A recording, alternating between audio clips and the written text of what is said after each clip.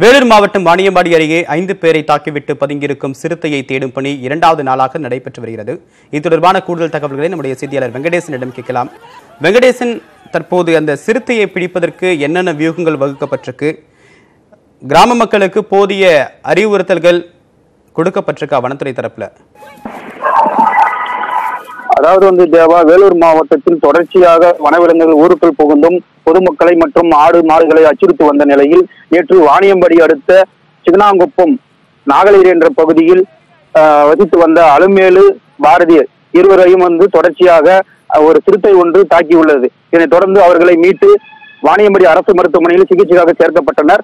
பின்னர் தகவல் அறிந்து அங்கு இருக்கக்கூடிய இளைஞர்கள் பொதுமக்கள் ஒன்று சேர்ந்து அந்த சிறுத்தையை துரத்தும் பணியில் ஈடுபட்டனர். அப்பொழுது முதற் முதற் மண்டி பகுதியில் உள்ள அந்த சிறுத்தை பதுங்கி இருந்தது. அதை வந்து எதிர்ச்சியாக பொதுமக்கள் மற்றும் இளைஞர்கள் ஒன்று சேர்ந்து அந்த முள்பதர்களுக்கு வந்து தீவிட்டு கொளுத்தினர். அப்போது பதுகியிருந்த ப- அந்த சிறுத்தை திடீரென்று ஆக்ரோஷமாக பாய்ந்து சந்தோஷ்குமார் என்பவரை வந்து அட்டாக் செய்தது. அப்பொழுது திடீரென்று அந்த அட்டாக் செய்ததால் அந்த சிறுத்தை மறுபடியும் அந்த புதற்குள்ளேயே சென்று விட்டது. சந்தோஷ்குமாரை அங்கு இருக்கக்கூடிய இளைஞர்கள் பொதுமக்கள் எல்லாம் ஒன்று சேர்ந்து அவர்களை மீட்டு வாணியம்படி அரசு மருத்துவமனைக்கு கொண்டு சேர்த்தனர். அப்பொழுது பின்னர் வந்து தகவல் அறிந்து வனத்துறையினர் மற்றும் போலீஸ் கா- காவல்துறையினர் வந்து அதை முகாமிட்டு பாதுகா பாதுகாப்பாக வன விலங்குகளை வந்து காட்டு பகுதியில் விரட்டும் பணியில் ஈடுபட்டனர். திடீரென்று ஆயிரத்துக்கும் மேற்பட்ட சூழ்ந்திருந்த பொதுமக்கள் அந்த சிறுத்தை மீது கற்களை கொண்டு தாக்கியதால் அந்த சிறுத்தை ஆக்ரோஷமாக மேலும் அங்கிருந்த ஆயிரக்கணக்கான மக்கள் மீது பாய்ந்தனர். அப்பொழுது இரண்டு நபர்களின் மீது பாய்ந்ததில் அவர்களும் படுகாயமடைந்தனர்.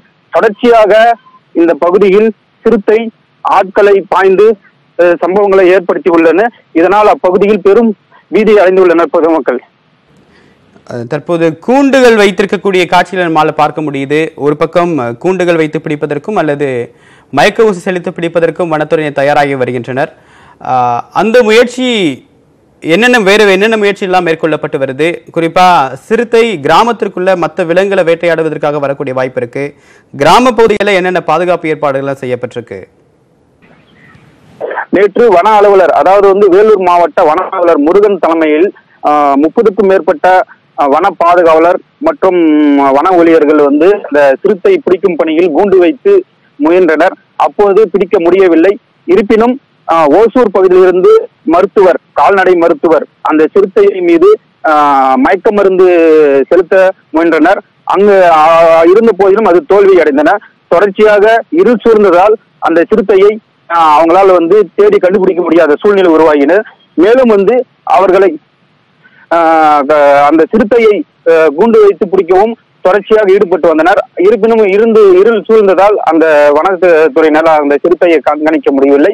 மேலும் வந்து இரண்டாவது நாளாக இன்று காலை அந்த சிறுத்தையை நடமாட்டத்தை கண்டறிந்து வருகின்றனர்.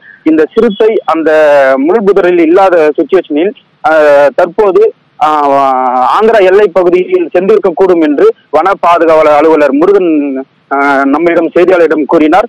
மேலும் வந்து இந்த கால் தடங்களை வைத்து சிறுத்தை இங்கேயும் உலா வருகின்றதா என்ற பொதுமக்கள் அச்சப்பட வேண்டாம். உங்களுக்கு அது போன்ற த- தகவல் தெரிஞ்சாலோ அதை கண்கள் பார்த்தாலோ உடனடியாக எங்களை தொடர்பு கொண்டு ஆஹ், சொல்லுமாறு வணக்க பா- பாதுகாவலர் முருகன் சொல்லியிருக்காரு. ஜெயபேன் வேலூர் மாவட்டம் வாணியபாடியில் நேற்று ஐந்து பேரை தாக்கிய சிறுத்தையை பிடிப்பதற்கு வனத்துறையினர் தீவிர முயற்சி மேற்கொண்டு வருகிறார்கள். தொடர்பான கூடுதல் விவரங்களை கொடுத்தீங்க வெங்கடேசன். உங்களுடைய விரிவான தகவல்களுக்கு நன்றி.